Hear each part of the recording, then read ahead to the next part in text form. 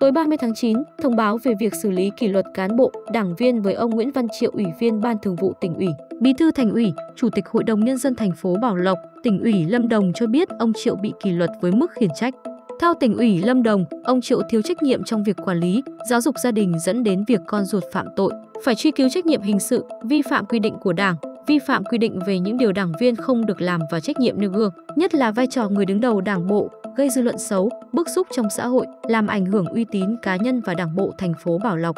Như tuổi trẻ online đã thông tin, ngày 6 tháng 9, Công an thành phố Bảo Lộc khởi tố vụ án tổ chức sử dụng ma túy, đồng thời khởi tố bị can Nguyễn Văn Ngọc Sơn 31 tuổi. Sơn là con trai ruột của ông Triệu, bị bắt khi đang sử dụng ma túy cùng bạn trong karaoke Havana, thành phố Bảo Lộc. Cùng ngày, tỉnh ủy Lâm Đồng cũng thông báo thi hành kỷ luật ông Trần Duy Hùng, Ủy viên Ban Thường vụ tỉnh ủy, Bí thư Thành ủy, Chủ tịch Hội đồng nhân dân thành phố Đà Lạt do vi phạm quy định của Đảng, vi phạm quy định về những điều đảng viên không được làm. Ông Hùng chịu mức kỷ luật khiển trách.